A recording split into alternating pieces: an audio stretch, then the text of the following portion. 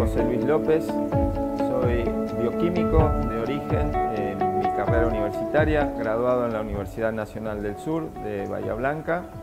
y eh, soy profesor adjunto de la Cátedra de Virología de la Facultad de Farmacia y Bioquímica de la UBA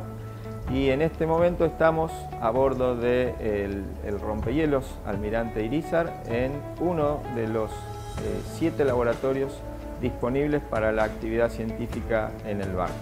Y estamos a bordo del barco con tres objetivos científicos eh, básicos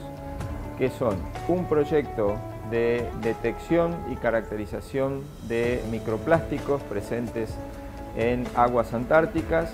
y por otro lado, detrás de la pesquisa de genes de rodopsinas virales y de endolicinas eh, bacterianas y virales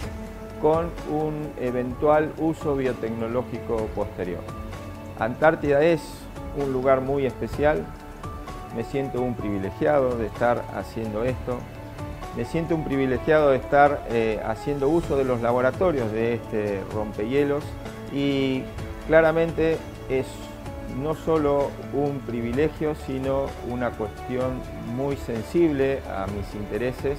involucra sentimientos de trasladar los confines de nuestro territorio a la Antártida, reafirmar la actividad científica antártica que la Argentina tiene desde hace más de 100 años